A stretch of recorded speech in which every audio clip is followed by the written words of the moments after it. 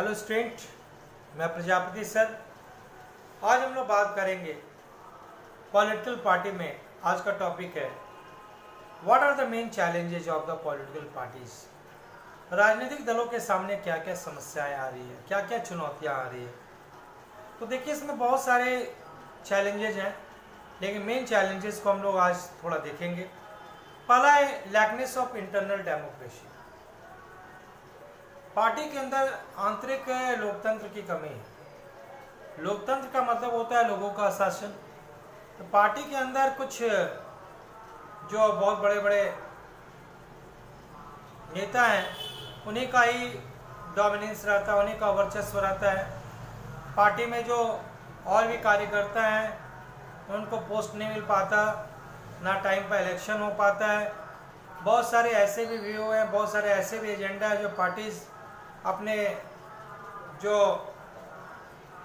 जितने भी कार्यकर्ता हैं, उनको बताते नहीं हैं। बहुत सारे फैसले उनको बिना बताए ले लिए जाते हैं। ये पार्टी के अंदर जो इंटरनल डेमोक्रेसी का जो लैकनेस है, ये एक बहुत बड़ा चैलेंज है। ओके सेकेंड टॉपिक आता है डायनेस्टिक सक्सेशन वंशवाद। आज जो हम लोग देखते हैं पार्टी के अंदर सबसे बड़ी चुनौतियाँ हैं कि जो लोग नेता होते हैं, वे लोग अनुचित लाभ लेते हुए अपने नज़दीकियों को, अपने परिवार के लोगों को पार्टी के अंदर आगे बढ़ाते हैं। और आप देखते भी होंगे कि अनेक दलों में जो बड़े बड़े पोस्ट पर जो नेता हैं, अपने भी रहते हैं और परिवार के लोग भी बड़े बड़े पोस्ट पर पदों को होल्ड करके रखते हैं। तो राजनीतिक दलों में वंशवाद की समस्या बहुत बड़ी समस्या है।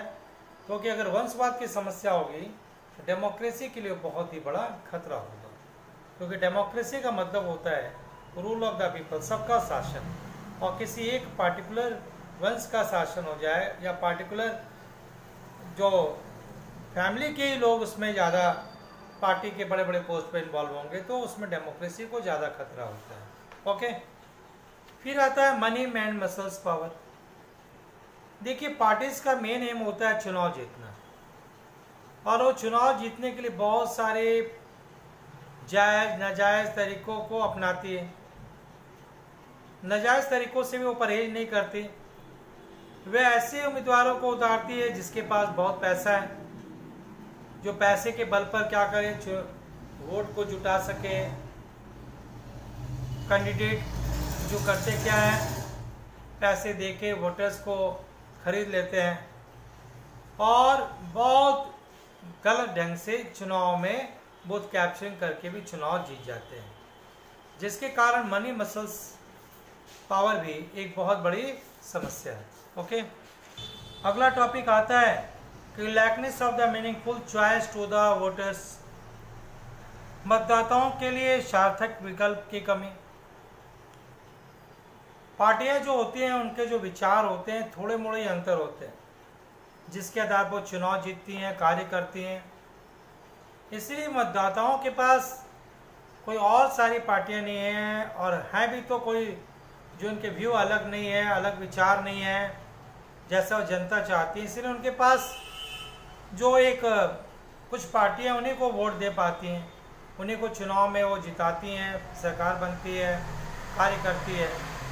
जिसके जिसके कारण एक अच्छे सार्थक विकल्प नहीं होने के कारण बार बार वैसे चुनाव में लोग आते हैं जिससे उनका भला हो पाता है, लोगों का भला उतना नहीं हो पाता है। ओके? एक और टॉपिक आता है नेगेटिव पॉलिटिक्स नकारात्मक राजनीति।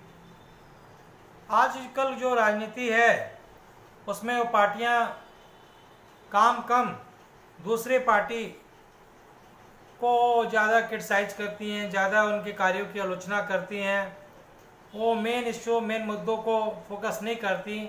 बस उनका एक मोटो होता है कि किस तरह किसी दूसरे पार्टी को हतोत्साहित किया जाए, गिराया जाए। ये ना कि जो जिस पार्टी को चुन के सरकार लोगों ने भेजा है, वो जाके कार्य करे, जो स्थानीय समस्याएँ हैं, उसको दूर करे।